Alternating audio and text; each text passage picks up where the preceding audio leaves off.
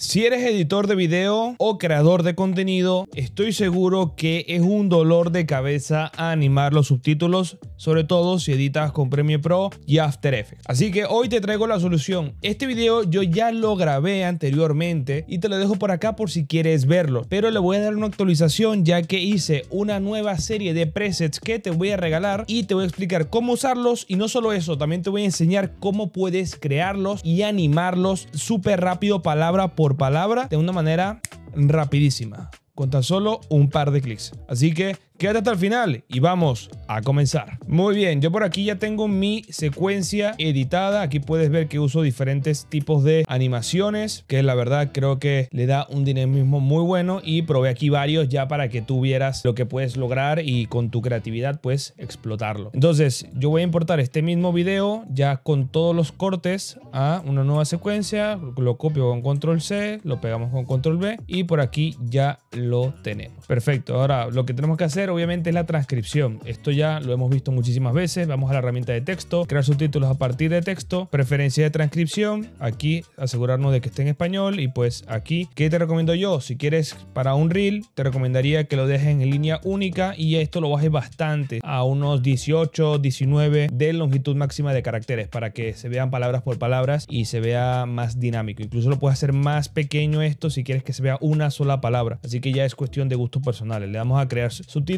muy bien, aquí ya lo tenemos. Ahora sí que voy a mutear el audio para que no me moleste en la grabación de este video. Y pues aquí es lo común que ya hemos visto en todos los tutoriales. Seleccionamos todo esto y eh, nos vamos al panel de gráficos esenciales. Y aquí pues vamos a poder nosotros modificar el tamaño de las letras, el tipo de letra. Yo por ejemplo suelo usar Montserrat. Le agregamos eh, sombra, por ejemplo, trazo. Yo le suelo colocar un trazo en color negro que creo que queda súper bien. Y pues aquí le podemos agregar una sombra paralela. Aquí yo lo estoy editando en bloque, por así decirlo, porque lo estoy seleccionando todos, pero si quieres que uno tenga un color específico, también lo puedes seleccionar y que ese tenga un color de resalte, el color que tú quieras y solo se va a modificar ese. Eso como dato adicional por si no lo sabías. Ahora, ¿qué vamos a hacer? Vamos a seleccionar todo esto, vamos a gráficos y títulos y le damos a actualizar pie de ilustración a gráfico. De esta manera pasó de ser un subtítulo a una capa de texto, lo que nos permite añadirle keyframes, lo cual nos permite pues animarlo. Y aquí es donde entra la magia. En la descripción de este video te estoy dejando 10 presets que preparé para ti para que puedas animarlos con tan solo un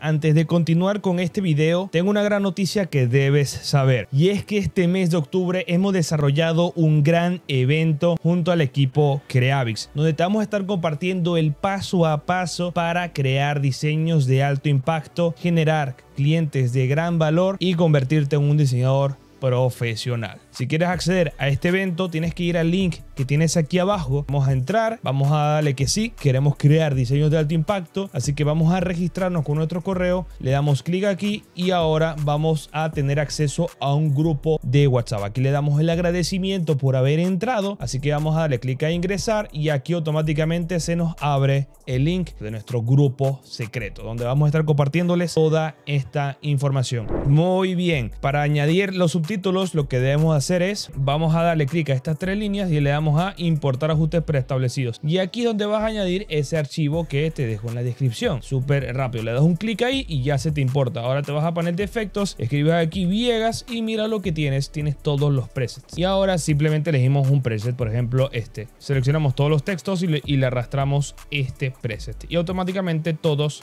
ya están animados. Todo va a variar según la posición de tu subtítulo inicial. Así que vamos a ir a control de efectos y vamos a mover el movimiento del vector de uno de los subtítulos, por ejemplo aquí. Este movimiento lo copio con control C y lo pego con control V en todo. Y ya queda. Ahí está. También les digo, dependiendo del preset, va a tener una posición u otra. Yo traté de que casi todos quedaran bien centrados. Para reemplazar el preset que hayamos añadido, si quieres probar otro, selecciona todos los textos, le damos a dar clic derecho y le damos a dar a eliminar atributos. Y aquí le damos a aceptar. Ya nos queda aquí como estaba antes y pues ahora sí que puedes añadir un nuevo preset y ya va a quedar con esa animación, ¿ok?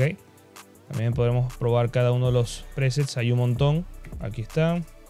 Estos se mueven de abajo hacia arriba. Y pues lo único que hay que hacer es ajustar la posición si nos pasa esto de que no quedan centrados, porque cada persona le va poniendo una distribución diferente. Yo aquí lo que voy a hacer es mover uno de los subtítulos, por ejemplo como este, y lo ajustamos alta a la posición que queramos. Aquí en, en control de efectos, movimiento del vector, copiamos este efecto de movimiento de vector con control C y lo pegamos en todos los demás. Y ya nos van a quedar todos así. Así que de esta manera tienes un montón de presets que te van a automatizar muchísimo el trabajo.